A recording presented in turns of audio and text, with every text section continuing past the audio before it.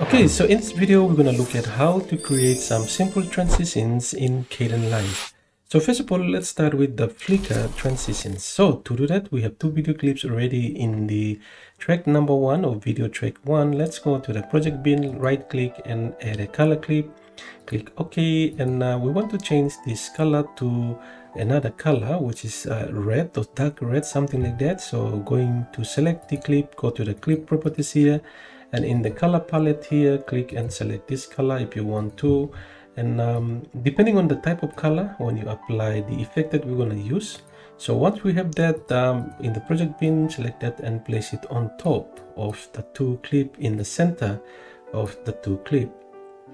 Going to the effects panel look for luma key.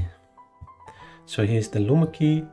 Click and apply to your color clip now you can see that uh, depending on the type of color that you use, for example, other color might not remove it, so you have to use the threshold to remove that. But with this color, it's uh, automatically removing it. So what we can do now, what we can do now in the Luma key properties, in the pre-threshold Luma level, we want to change this to somewhere around 165. So we want to have something like this. So once we are done with that, let's hold down control and middle mouse button to zoom in on it or you can use the slider here to go up all the way to 2021 20 over 21 make sure to have the playhead here or the marker right in the center of the two clip. And now what we want to do is to split or cut this clip. So hold down X and then cut. So the reason why we move to 2021 you can see that um, you can see this once we move the marker the size of the uh, shape here matches each of the keyframes so we can move in one frame here another frame another frame and another frame. So we want to have three little small clips in between here. Let's do the same for the other side.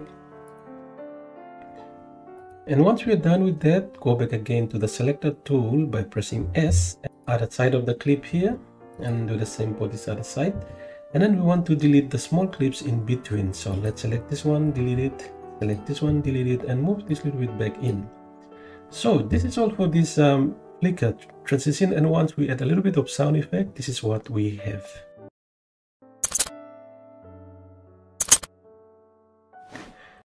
Okay, so our next transition is the shape transition. So what we can do now is we already have the two clips here on the timeline. So we can move pipe frame back into the first clip. selecting the clip, moving 1, 2, 3, 4, and 5, and then zoom in. And uh, we can cut this little part here. So pressing down X and cut it, and zoom more in to see clear the clip. And then go back out again to the selector tool by pressing S and select this clip here. Go to the effects panel and look for vignette. So the vignette here, select that and uh, place it on the clip. As you can see the shape it created. So in the smooth let's just make this more a sub edge here. And the next thing is to bring this down all the way to zero. So we have this black screen. And then in the opacity we just want to bring this little bit up somewhere around 250 or you can go to 300 if you want to something like that. Now let's move to the end of the small cut clip here and then add another keyframe. And then in the radius we want to bring this back out to 1000 to reveal the car here. And I think that's all for this and uh, here is the final result. Once we add a little bit of uh, sound effects to it this is what we get. Thank you for watching and hope to see you back again in another video